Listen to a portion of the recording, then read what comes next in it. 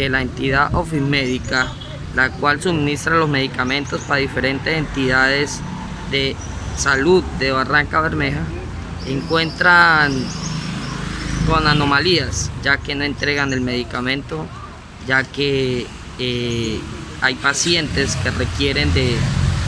de estos medicamentos porque son enfermos de cáncer, enfermos de alguna otra patología, el cual necesitan con urgencia su medicamento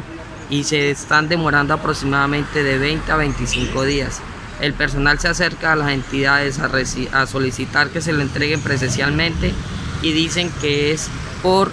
vía domicilio, pero igual generamos este problema de que nunca llegan los medicamentos. Hacemos esta queja pública para que los medios de comunicaciones y la Secretaría de Salud realice lo pertinente y haga el seguimiento a esta arbitrariedad que hay.